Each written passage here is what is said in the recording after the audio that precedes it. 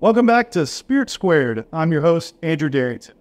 Tonight, we're going to switch things up. Uh, we're not going to talk about whiskey as much as we have been. Uh, we've got a, a, a, medical professional tonight, uh, Dillon Wenberg. Thanks so much for coming on the podcast. Uh, really appreciate what you do.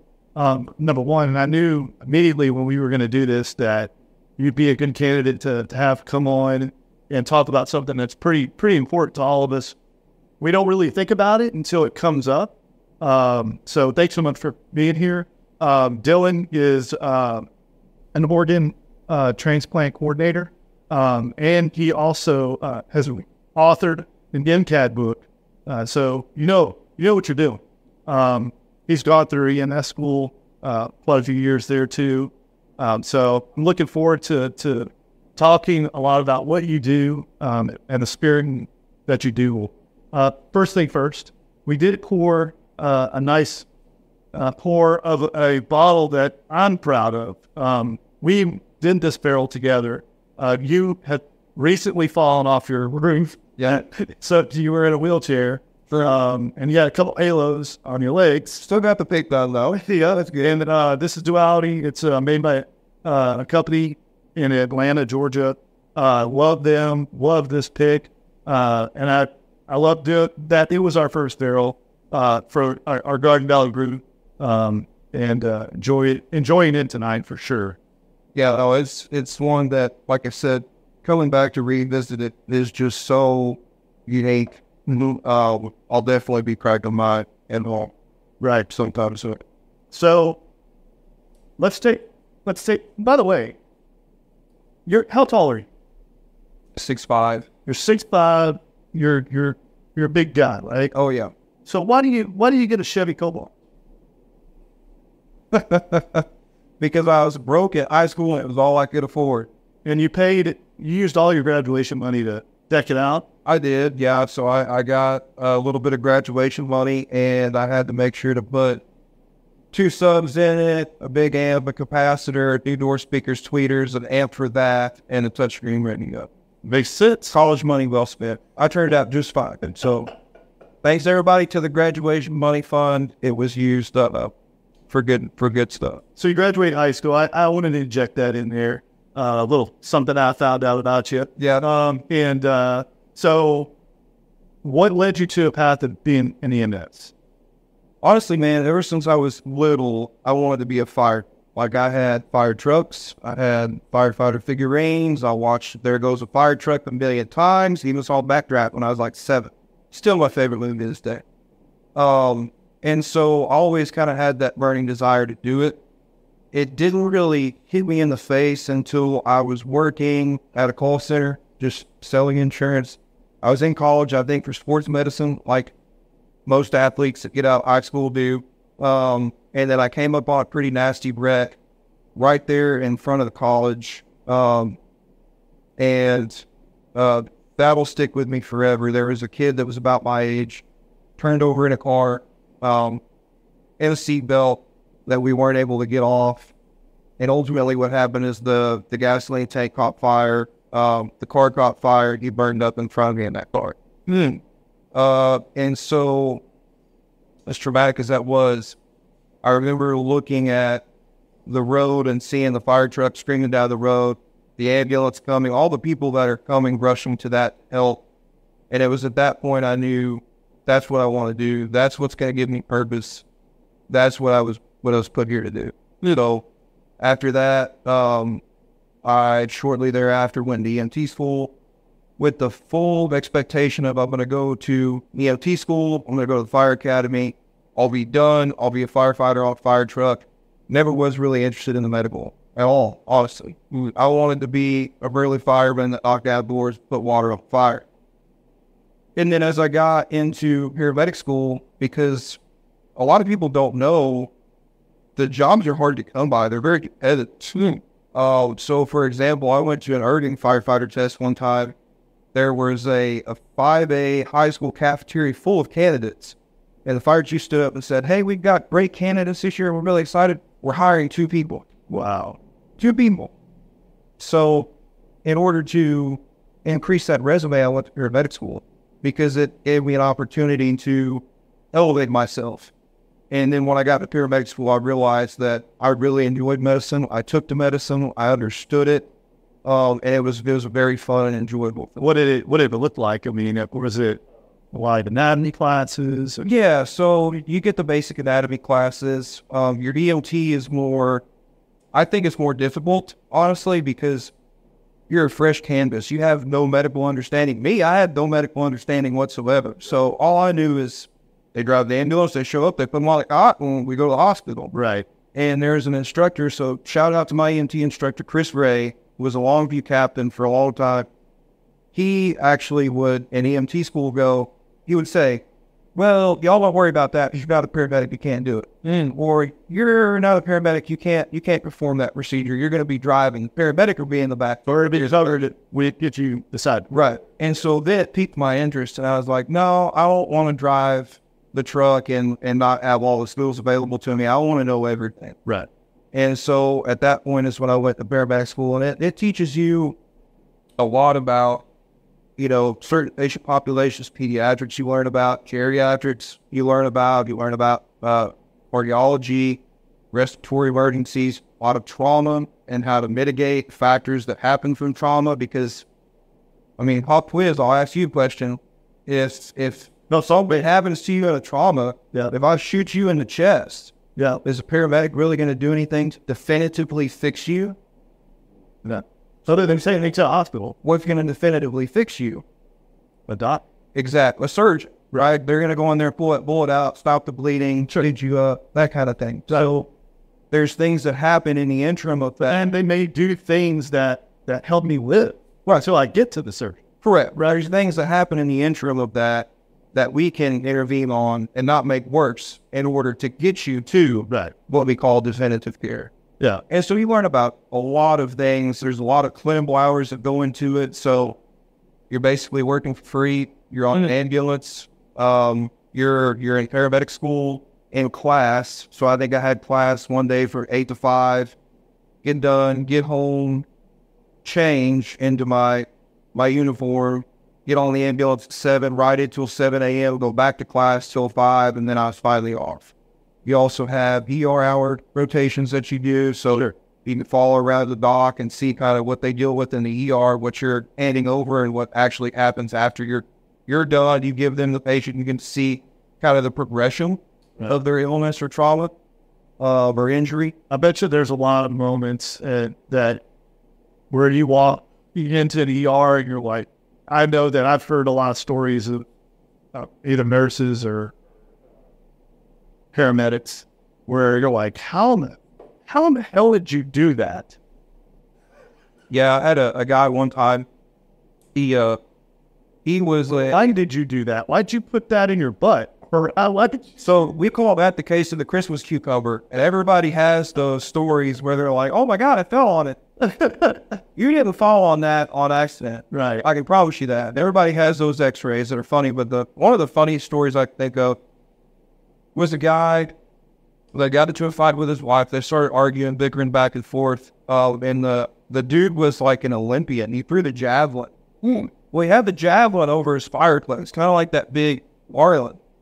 And uh, the wife got sick and tired of him bickering and grabbed a javelin off the fireplace and impaled him with the javelin through his chest, through the recliner. And so I'll never forget when that call came out. It was it was very matter of fact. Hey, we need you en route. Uh, you know, Jacksonville Fire need you en route for a patient impaled with javelin. And we're like, what? Yeah. So I just dispatch. You, uh, can you repeat that? Yeah, impaled with javelin. Okay. All right. Well, here we go. And sure enough, he was talking crap to her still when we got there. And I'm like, hey, shut up before she finishes the job, you know, just so there's a lot of Just- yeah, there's a lot of stories you think about that that are funny, and then also stories that are not so funny and don't have good outcomes, and they can keep with you, you know, Correct. for as long as as your career and even after that. For that, I Yeah, sure. Um, So how, how long did you do the EMS paramedic? So I did Ride a bus. I did. Uh, so I rode the box for uh, right around six or seven years. Um, I went from ETMC EMS, which ran Tyler, Philip became UT, went to Jacksonville Fire Department, was a firefighter paramedic, followed that training, did that. And then I kind of wanted something more in medicine. So then I went to Care of CareFlight, learned about critical care paramedics and what they're able to do and, and some of the stuff that they're able to intervene in um, and are trusted with. And so I thought, man, that's right up my alley. I want to learn more. That's kind of how I've always been. Um, and so I got into the critical care side of things and then took my flight paramedic exam. My critical care, so yeah, never been on a helicopter. Uh, well, you can see on camera that I'm not built for a helicopter necessarily, so they have strict weight requirements. I was never able to make, but uh, I did critical care ground, which was ultimately a rolling helicopter. So a lot of things that I did, you couldn't even fit the amount of equipment it took into a helicopter to fly with. Right, right. Um, and so I got, I had the same set of protocols, same scope, uh, and I got to learn and, and, do a lot of fun stuff. Anything from chest tubes to central lines to uh, just about anything that you could think of, we were trusted with doing. And that was kind of where I licked my chops. That was, I guess, where I call it of my paramedic career is walking in a building and having an infinite toolbox mm. to be able to make a change. And, and that was when I really just kind of licked my chops and I was like, hey, let's get in the right. This is why we're here. And I took pride in that. Yeah. A lot. Cool. So, so you're, you're doing that six, seven years and then you make the jump Will you jump to? Do you jump all the way to transplant? So actually, I got an education. Uh, I got an education, uh, and so at CareFlight, I was a critical care educator for all the critical care paramedics when I promoted, and then I got with a company called IMED, um, and IMED was a company that taught aspiring flight nurses and flight paramedics critical care. Mm. It was a four-day prep course taught all over the United States. So it's a great opportunity for me somewhere that, you know, somebody that's never really been many places, all of a sudden I'm able to pick and choose. I want to teach in New York and South Carolina, California, Reno, and, and go to all these places and affect all these people. Sounds like a fun job. It was, young guy. It was a great deal of fun. I really enjoyed it. Um, and then my daughter was born, and I realized how often I was gone. Right. And how much it took away from my family. And so at that point, I kind of had to make a decision so right after I published my my study guide, the MCAT, I felt like I had uh, felt like I had delivered on that and the promise I had to put that out there. And once that project was completed, I decided to step away from from a teacher. All right, so step back just a second. You you you co-wrote, right? The uh, yeah, so I'm I'm the I guess considered the main author, main author. Uh, but there's two co-authors. So shout out to Chris Matana, He's one of my best friends. He's actually the CEO of the company at IMED, who gave me my opportunity to be a published author. Uh, and his wife, who's actually a perfusionist, hmm. which is a higher level of knowledge than what I have. Uh, and she was a great resource to be able to pull from and and be able to factually check the information right. um, as well as some of the cardiologists that I've worked with in the transplant field. Uh, you know, uh, Dr. Twasa Legacy, Dr. Cindy Martin, uh, and Rishi Kumar, who does RKMD. Uh, it's his own medical podcast. So oh, shout cool. out to those guys. Yeah. Without them, uh, that book would not have been successful. How long did it take you to write it? Man, Study that. Well, uh, close to eight months. Eight months? Close to eight months to write it. Uh, yeah, it was actually a lot faster than I thought it was going to be. Yeah. Probably would have been done faster if I wouldn't have fallen off that roof. Because uh, I was just in the middle of trying to finish all that when that happened. So I kind of had to take a back seat to uh, to finishing it until I was able to get out of the hospital. But it was uh it was definitely a huge project. Yeah, like my my sister just uh, posted that she she is a a doctor of law and wrote a a chat you you could tell when she posted it, it was like rigorous. Oh yeah, and it you know it's it's just taxing to get all the information right, validate it, make sure it's pertinent, make sure that it's relevant, make sure that it's it's going to be uh, fruitful to the reader. Um, so I'm sure that was. Would you do it again? Yeah, man, it was it was a great experience. Um, you know, a lot of people don't get to publish, especially little paramedics. So I'm grateful for that opportunity. It taught me a lot, honestly as well as you dive into that information. You think you know it, and you dive in more and more and more, and you you learn more about it. But you hit all the points. So when you create something, your name's on Yeah, that. sure. Your name's on that, and everybody else is going to know that. So you want it to be valid. You want it to be relevant. You want it to be concise, and you want it to be appreciated because not only did you work hard on it, that's that's your name on that. Sure. And there's a lot of sense of pride when it comes to that. Um, and so yeah, it was it was something that was was it taxing? Sure. Would I do it all over again in a heartbeat? And it's full. Yeah. No. Um, so before we move on to Transclave, when you were in EMS, did you fall into any into any windows and on any beds? Man, who did you talk to? Uh, yeah. So embarrassing story alert. Um, when I was uh like a rescue Randy and fresh off of probation, probably about a month off probation, and it, you know, I was one of those that they called 911. We got to save him. We got to hurry. We got to get in there right now, right now. Hurry, hurry, hurry. And not that you don't do that when you're more seasoned, but you're Right. you're more uh, understanding of what's going on. You know the situation. You have that situational awareness, that critical thinking. Sure. At 22 years old, I didn't have.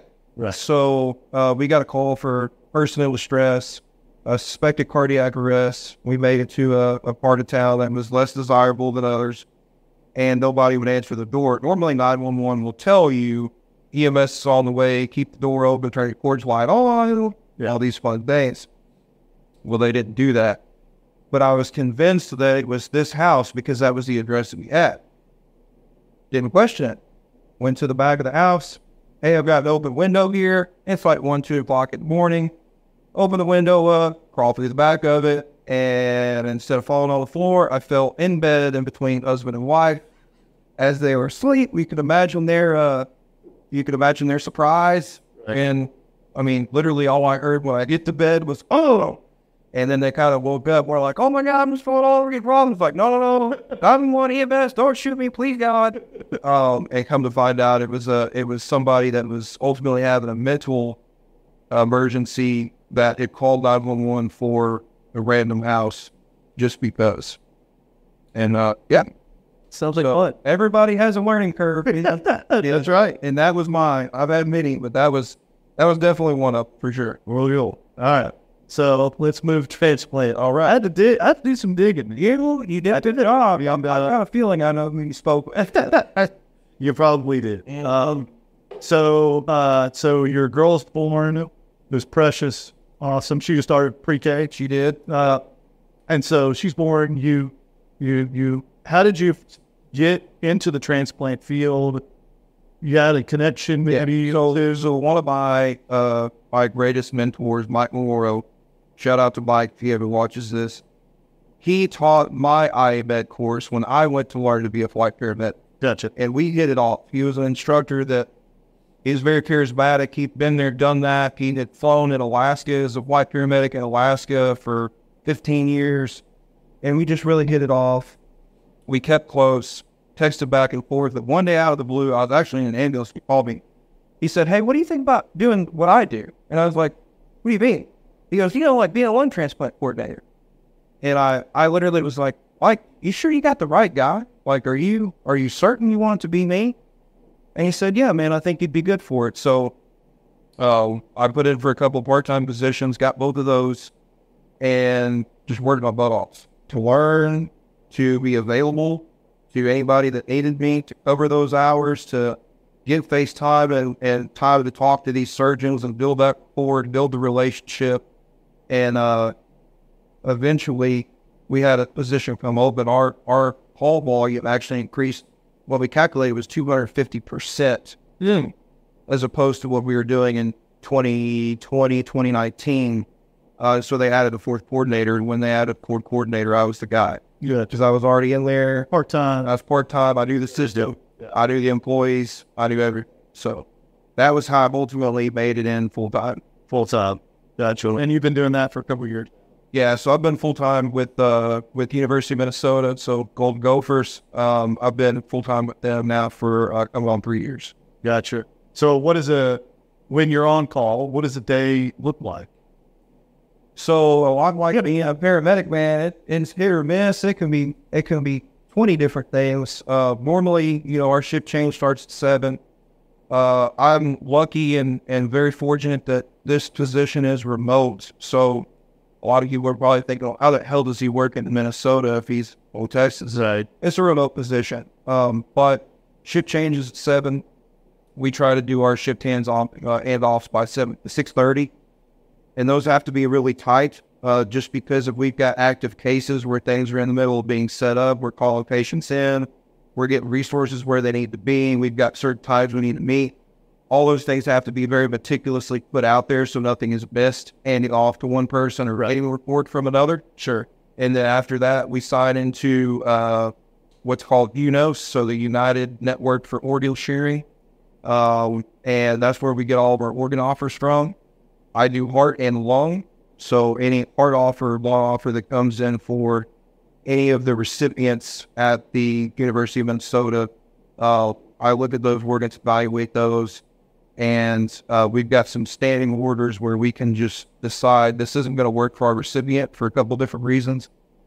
Or I may say, well, I'm going to work on this a little bit and and see if I can give some meds and do some some ventilator changes and see if I can improve this donor's organs before I ultimately call a surgeon. So you have someone who's who's not there. Yeah. So you've got two different types. Um, so everybody thinks of the classic scenario of an organ donor as they're going into the OR, they're going to pull the ET tube, so the endotracheal tube that's on the vent, and breathing for them, and and they're going to have to go pulseless and apneic, meaning they don't have a, a pulse, they don't have a blood pressure, and they're not breathing for a certain period of time. Then they arch the organs, and that's partially true. That's one type of donor. Sure. There's another donor that is more common called a brain dead donor, and that is the lights are on but nobody's home. Meaning, for whatever reason, whether it be stroke, traumatic illness, overdose, uh, a, a host of things that I could name, it has affected their brainstem function to where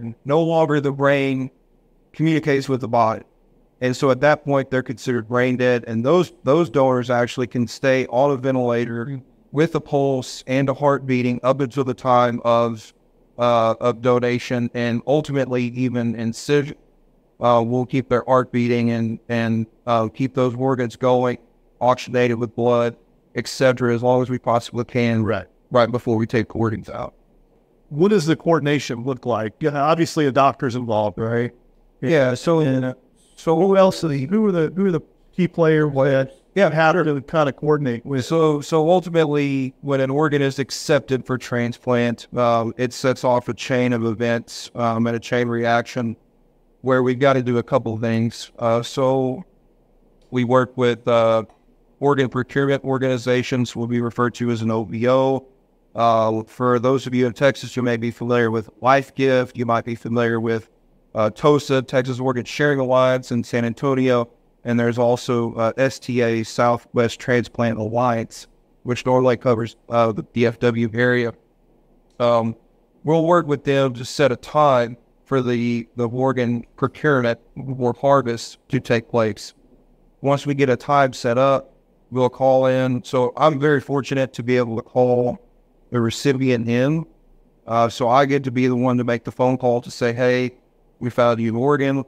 Uh, and talk about a special feeling, man. So like Christmas, New Year's, Thanksgiving, birthday, Easter, uh, pretty much all the major holidays, I've gotten to, to call somebody and say, hey, you got a second chance at, at life and find a organ for the transplant. Right. And some of these patients are so sick that I, I can't even talk to them. And some of these patients are at home and, and they're, you know, ill, but they're not as ill as some of these folks in the hospital. Like dialysis every day, or Yeah, or, or just on a ventilator, because their lungs are no longer functioning, or um, you know, just a, a host of different things. So, being able to make that call, um, you kind of turn into a wedding planner, and that's that's kind of what I explain my job as. Is I'm a wedding planner for heart and lung transplants. So what I mean by that is I'm responsible for making sure everybody is there all time, everybody knows their assignment, knows where to go, and everybody that needs to be called is called. So this dance and wedding, if you will, takes place seamlessly without any hiccups. And if there is hiccups, I'm also responsible for figuring out how to mitigate those and get around those where we can still ultimately do what we're trying to do, and that's get somebody transplanted. right. Um, and so, yeah, I'm responsible for you know, we call a blood bank, making sure immunology's involved, having the OR set, prepped and ready, making sure the surgeons are on the same page, having my procurement fellows flight info so they can get on the plane, know where to go, be picked up, um, all the supplies, etc. So it's, I, I guess, the grant facilitator of of all these things to occur. Are there are there folks? I'm, I'm circle back. So you're mostly your recipients are mostly in Minnesota. Is that right? Uh, so yeah, I mean, they're they're patients of the University of Minnesota. Yes. Okay. And so, are the donors mostly from that area? No. So donors can go from anywhere in the United States. Okay. Um, and it goes off of uh, two different things. So I, like I said, I deal with cardiothoracic organs. So we're talking specifically lungs, so here. Um, for lungs, they go off what's called the continuous allocation score. And that basically ranks you in a, a couple of different criteria what your pulmonary disease is, what your immunology uh, looks like as far as your compatibility um, and antibodies go, and then also how sick you are. Are you on a ventilator? Are you on ECMO? Are you home? Are you on high flow oxygen? Are you on low flow oxygen, low flow oxygen, etc. And so that lists you nationally. And so when my patients come up on this national list is when I get a call and say, hey, you have a potential match, or it could go to, well, yes, it's a potential match, but now you're what we call primary, meaning now I have the opportunity to say yes or no. It's now offered to me or my team, not me. So I'm just one person. I, I work with a very, very special, very talented team. It's offered to our team to say, do we want this for one of our recipients or do we not? Right. And that's ultimately when our work starts. Hmm. So uh, you get a you get a match, and I, I know for donate donating organs, I've always pictured like, you know, you have surgeon in there, they harvest the, the organ, they load it. Is this old pardon? Th- this is old partner. This is one of Dillon's favorites. Yeah. So not to take me away from what you're saying, but a special special story about this bottle. Uh, Drew had just moved into his his new home. Yep. Um, and we had tried this one time before. Very, very special pour. Extremely good. If, if you guys are into bourbon, I highly recommend you try this. And this batch especially very good. Yep. Um, but it was at the very top shelf of his bar. Right. And so I asked, I said, Hey, let's have a pour of that because he was he was open to us having whatever. And he said, Well, man, I don't have a ladder to get up there and get it. And I was like, Well, you don't need a ladder. So I got down on all fours and he used my back as a step stool so he would get this down and you were motivated. We could have a good pour. Yeah, he was motivated that. And I would do it again because this stuff is, is special. It is. Sorry to take you away. No, no, no. So I was just saying, when I think about uh, transplanting organs, you have a surgeon, they harvest the organ, and then it gets maybe like special treatment, obviously, iced down or something, put in a baggie of some kind, and then let's just say, for the sake of saying, that your recipient is, or your uh, your donor is, there's got to be like a, a mileage restriction, maybe, or You would think. So, a um, couple different answers to what you're asked. Okay. There is times in which we'll use uh, ice to store organs, which is just what we call cold storage. Same thing you're talking about. Organs come out, they get flushed on the back table, they go into a baggie, they go in ice on a cooler, and away they go. And that typically does have, depending on who you work for and how aggressive your, your program is, typically for hearts you're looking at four hours or less for mm. time of for time of leaving or being on the back table out of the body to implanted in, into the new recipient. And for lungs, anywhere from six to eight hours. And depending on other programs, even longer than that. But technology is crazy. And a couple things we do now is what's called OCS, Organ Care System. And what that does is that actually allows us to take the, for instance, lungs, take the lungs out of the body, put them onto this machine, ventilate them with a ventilator, perfuse them with blood, and continue to oxygenate these lungs, ventilate these lungs, let them improve. Because there's certain things that make lungs look bad on paper, but they're actually great lungs. one of them is body habitus. So if you're a big guy, even like myself, if I'm laying down flat in a bed on a ventilator for so long, a couple of things happen. Number one, you get uh, what's called referred to as atelectasis of the alveoli. So your your air sac, So where now all your data takes place, it sticks down and gets stuck on itself. So that area of the lung can't open up, and if that area of the lung can't open up, that place can't oxygenate. So the more areas we have open up, the better oxygenation becomes. Sure.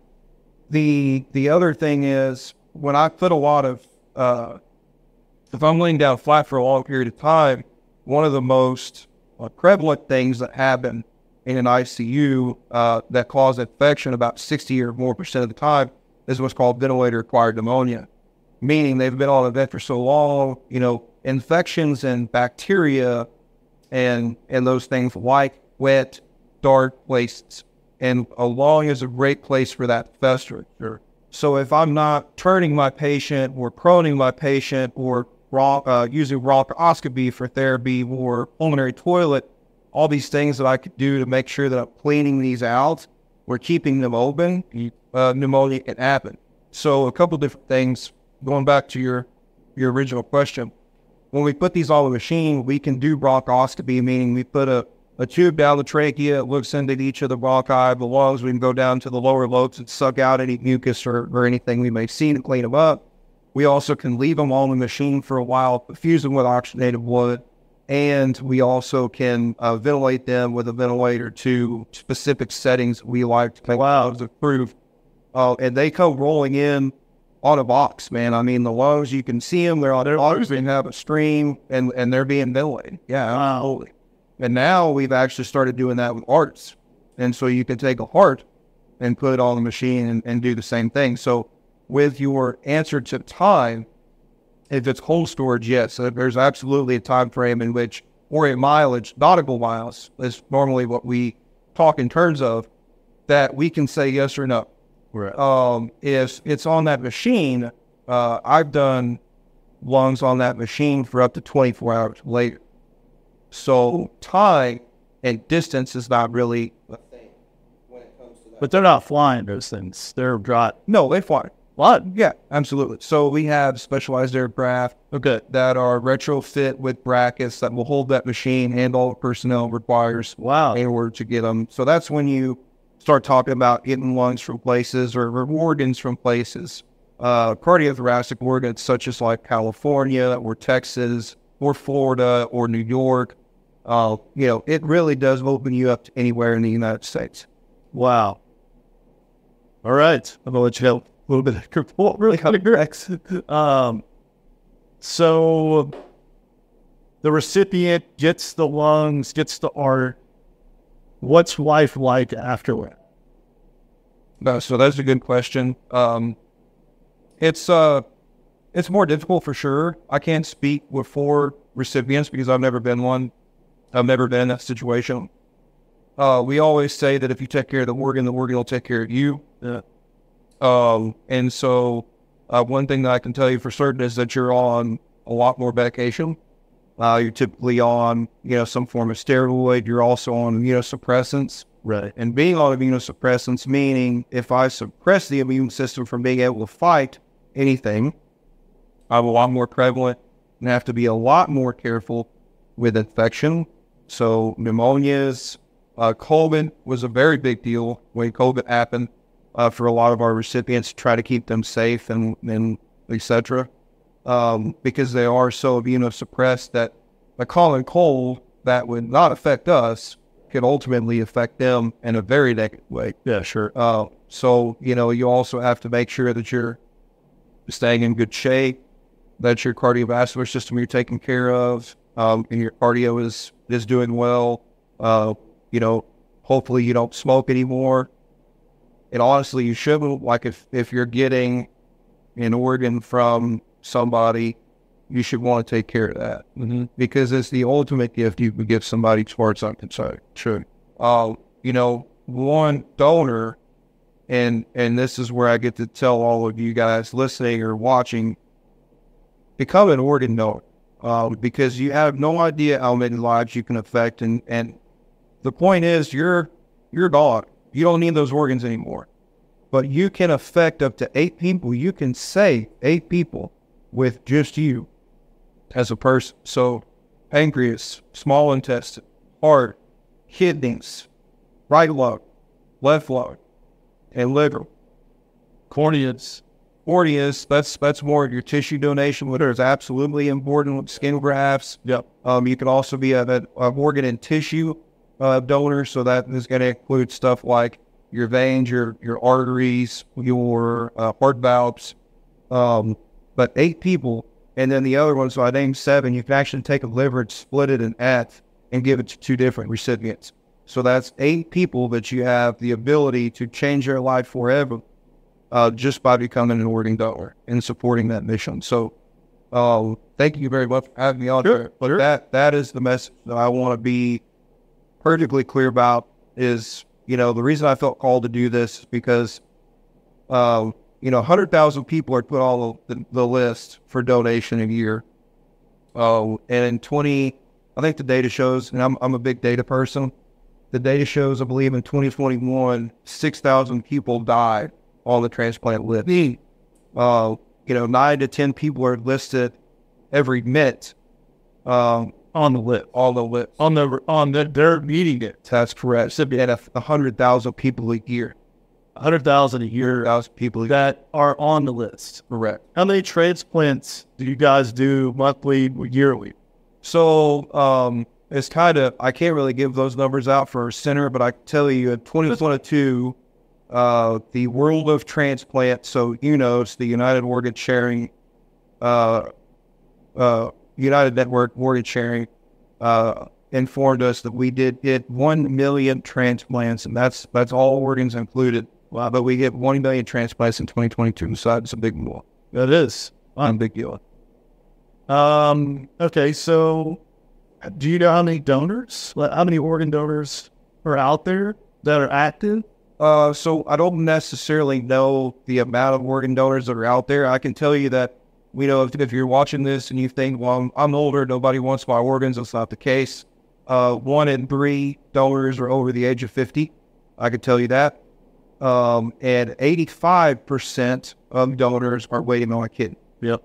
And the kidney is something that you can live, you know, with one. So if you call, if you feel compelled to to donate a kidney, whether it be directly to somebody that you know that you know needs one, or or just anybody, uh, eighty-five percent of people on the list are are needing a kidney transplant, and that's coming from somebody that has one kidney. So I, I do just have one kidney. So I am a model of I can make it with one kidney, but must that anybody can make it with one kidney. Right. Um, so yeah, just interesting data to put out there, uh, and I, I think that Drew is going to leave a link uh, for how to become a organ donor and sign up to be a organ donor. Uh, that's all I know. we'll wait till Tiger Five. Um. So what's what's next for Fan? Is there is there anything that we're you know, cutting technology or ways of making it more? Because I mean, being an organ donor, you're right. I mean, you're gone. Right. So I mean, if there, it's to not do it is is almost comes across to be a little selfish or maybe a, a little like well, almost flippant about it. Like they nobody needs it, you know, or Yeah. they're not going to use it, or I think a lot of it boils down to education um, and and awareness. I would never, uh, you know, I guess use anybody because I'm not in that situation. I've never been asked to donate an organ, so I wouldn't call anybody selfish per se. Um, I think comes down to a lot of stuff like this conversation, um, getting it out into the public, and and being able to explain and and educate, um, you know, exactly what happens and why the need is there. Uh, I think I think that's really helpful as far as increasing the amount of donors that we have. And then as far as what's next for transplant man, there's there's a lot of different things on the horizon as far as you know, not necessarily with longer part, but I've been to conferences where they're talking about 3D printing organs um, and injecting cellular material in them, um, all the way up to, you know, I worked with a surgeon one time that uh, size is a big deal when it comes to both hearts and lungs. And you can't really shave down a heart, but you can shave down lungs depending on the program that you're in and who you work for. And so people that are very small, um, and you have to understand kind of how we size lungs to to follow me here, but you have what I refer to as shrinkers and growers. And uh, don't look at me funny when I say that, but what I mean by shrinkers and growers is you have certain people that have pulmonary disease that causes their lungs to grow in size, and you have certain people that have pulmonary disease that cause their lungs to shrink in size. Sure. The problem becomes if I'm already somebody that is very short, and I also have a problem that causes my lungs to shrink, it brings me down to a, a size of donor that is, is very small. Right. And ultimately, there's not small donors out there every day. Uh, so it makes it difficult to size. And so, you know, with some of the, the newer things that are happening in transplant, surgeons will actually take donor lungs that are bigger and they can they can take out a, a right middle lobe completely. So now you just have, you know, your right lung you typically have three lobes, your left you have two.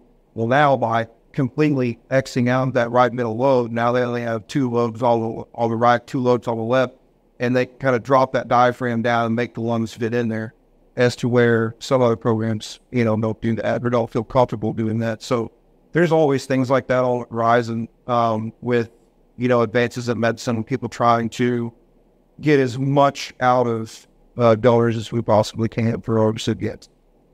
I was watching a podcast this week, and um, the the guest was, is an astrophysicist, Neil Tyson, and uh, he was talking about how we've elongated life. In the last 10 years, we our life expectancy has gone up five years. Yeah. And if you think about that, that's pretty incredible. yeah. And, and in the last 50 years, we prolonged life 20 years. Oh, yeah. And so, you know, his hypothesis was there's going to come a point where the possibility of living to 120 and 130 is out there due to this type of technology that guys do. I mean, it, if you have a machine that can reform essentially, or you can make a 3D rendering of something, then it's exchange and then take a bunch of medicine. Yeah. after after your transplant, Right. Right. to, to avoid rejection. And and honestly, we've had patients that you know for whatever reason they reject their first organ, and it's a, it's a very sad process called acute rejection. Um, and so when acute rejection happens, we try to find them something else. And so we've transplanted the same person and and gotten multiple sets of organs until you know things shake out. We've had to where survival rate, I'll, I'll speak specifically on lungs, as we say 50% after five years. And all of this that I'm sharing is was general knowledge and it's out there if, if you're looking for it for any kind of education. But any transplant center is going to have these numbers, but uh, 15% after five years. Wow. And so, um, you know, it is kind of one of those things that it's it's it's not hundred percent. Right. But I can also tell you through speaking to some of the recipients we had, and and more specifically with one that actually came to a conference that I was at, that we were our team was involved in setting his transplant up. He spoke and and he said, "Has been a long, hard road? Absolutely, but would I change it?" And would I do it over again? I guess it was a question that he was being asked time and time again. And he said, I'd do it a million times over and think twice about it because there goes to a point, and I've spoke with people that are friends and family of many people that are saying, Hey, I don't know, should I should I try to get listed? Should I pursue this? And my my answer to them is there becomes a there comes a point where your quality of life has to be taken into consideration. And if you're at a point where your quality of life is poor and you can't do anything because of your disease process that you have, maybe transplant is the answer for you because it does give you a second chance at life and it does give you that opportunity to be able to be a part of things that you've never been able to be a part for uh, or part of the or wouldn't be a part of if you kept going on your certain on your course. The coolest thing I've ever been a part of. Well, I'll share two stories. One at EMS and one at transplant. One at EMS is something that you would think is is very that I was going to share this story that is just completely mind blowing. And honestly, it's not. It comes back to, to what I think both of these jobs come down to, and that's customer service. And um, there was one time where I took patient home on hospice from the hospital. The family had talked to us about how uh, he really enjoyed Lake Tyler and being able to go to Lake Tyler. Had a lot of special memories there with family. That was where he where he was. You and I would like to be on the golf course. This guy liked to fish all the way. Yeah. And so we cleared it with our dispatch, and and uh, we were ultimately able to back our ambulance up to the boat ramp of Lake Tyler, swing the doors open. The family followed us there, and I just remember the dude completely busting out in tears. And it was the most special thing I've ever seen because the family was able to come in there. They could take pictures. They could share that moment with them Yeah. and it was it was incredibly special. Uh, again, very basic story, but for me, it all boils down to Yeah. Well, you create a moment. Create that moment.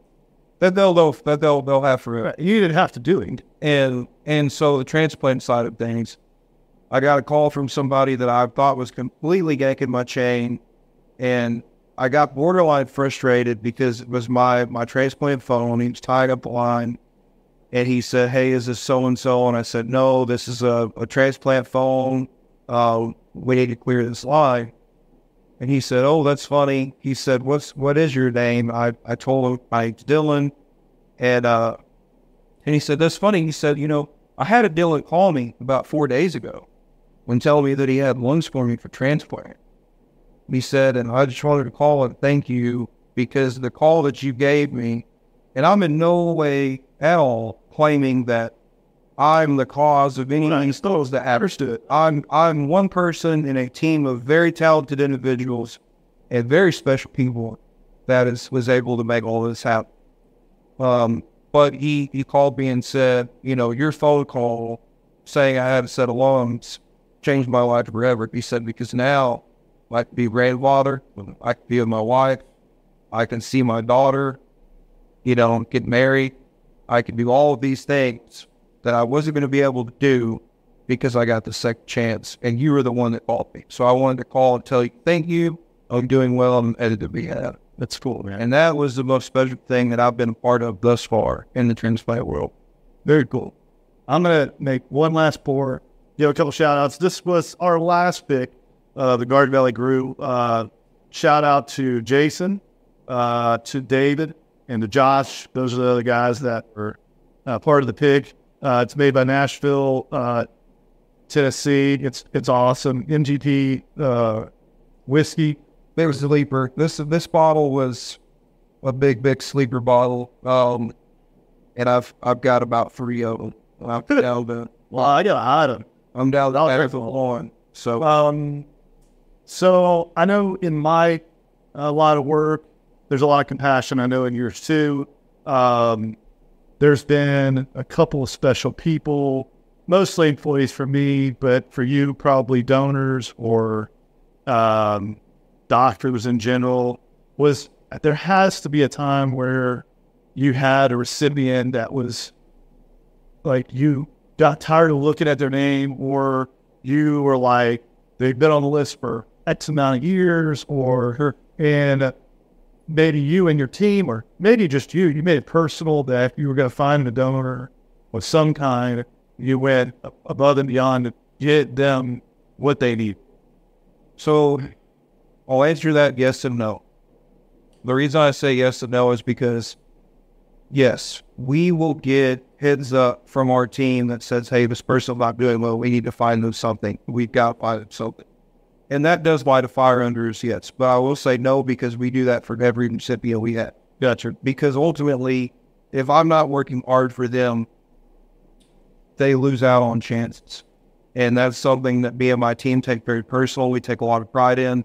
And so we will work our absolute butt off to make sure everybody has every opportunity to be transplanted, no matter who they are, uh, because we want everybody to have that second chance at life. That's cool. Yeah, and that's that's the best way that I can answer. Are there those um, ones that you you see and you're like, man, we've got to find something for it. We've got to find something for this one, and And the answer is yes. I mean, it's happened just this month, and we finally found something, and it's been awesome because we worked, you know, and, and it's, it's taken so long. But there's a lot of different factors in. Some people get transplanted after three days they're listed. With some people are listed for four years and don't get a transplant. Right. And there's a lot of factors come into that to play. Um, but we try to work our absolute well to make sure that they get every opportunity afforded to them to get it on. Cool. Uh, Well, really appreciate you coming. Man, it's Man, fun. that's been fun. Yeah, yeah. I loved it. Man, we had some great pool. Yeah, man. It's an interesting topic. Um, it's not something you think about. Um, I'm a I'm a donor uh, myself, and Summer is too. She's you know in uh, medical field, so uh, it's just made it more important for me to get message out and uh, and and make sure that you know folks know that easy to do. We'll put the link on there for you. Yeah. Uh, so that way people can, can do their own investigation and and hopefully uh, you know get registered if they're not. Um, it was an awesome conversation. I really appreciate you coming on having the boards. And uh, Cheers, and yeah, man, cheers. Um, so for the next uh, for the next uh, episode, we have a local legend, uh, if you want to call him that. Um, he is deeply involved in a local sporting store, like outfitter. Uh, it's going to be a fun conversation. We're going to continue to make sure that we stay outside of just the whiskey realm. We want to talk to entrepreneurs. We want to talk to uh, people that are passionate. We want to focus on their spirit and have a couple, couple pours, you know, here and there. So uh, this is Spirits Squared. Uh, love to have you back next episode.